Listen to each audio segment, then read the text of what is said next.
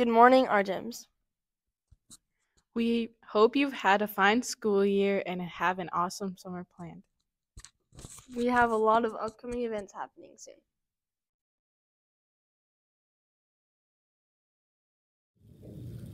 It is already almost iPad turn time. Make sure you are checking grades and getting all your missing assignments turned in. Monday, May 20th, all sixth grade students will sixth grade students need to return their iPad cords and bricks to your classes. They will remain there for the rest of the school year. Thursday, May 23rd, all 8th grade students will be called down alphabetically to return your iPads, cords, and bricks. Friday, May 24th, all 7th grades, graders will return theirs in the same way. If you do not have a cord or a brick to return, you will need to pay $10 apiece. These must be Apple certified cords you were issued. If your iPad is damaged, please see Mrs. Carla as soon as possible to pick up an insurance form and pay for the damage if required. Dodgeball. Dodgeball is a full, in full swing, or should I say, full throw. The championship games will take place first hour on the last day of school. The championships will get to play the teacher team. If you not take care of these tasks, you will not receive a device next year and you will not be able to participate in the dodgeball tournament. The Color Run. The Color Run will take place on Wednesday, May 29th during first hour. Hello, Thunderhawks! I hope you're remembering to be responsible, respectful, safe, and kind. One way we can do this is by taking responsibility for our actions and making good choices.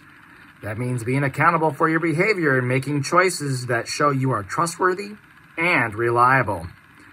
Can you guess who I am? Hope you're having a good start for the month of May.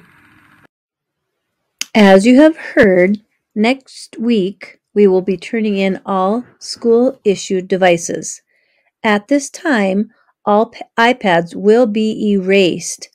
All materials will be erased from your device, and this is to make sure that next year you will start with a device that is clean and will, will run more effectively and efficiently. You may want to back up photos or videos that you have on this school issued device. The easiest way to do that might be to put them into your Google Drive. To do that, open up your Google Drive and then tap the Upload button and upload images from your photos. It also might be a good idea to back up Notability. If you have files in Notability that you'd like to keep, you should make sure that you have already set your backup turned on. If not, you can do that easily. Open up the Notability app and tap the Gear Settings icon to open up the Notability settings.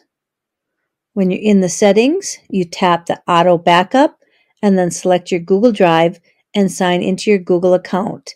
It will back up all the files into your Google Drive. Again, all devices will be erased next week when you turn your iPads in. Please prepare ahead of time. Thank you.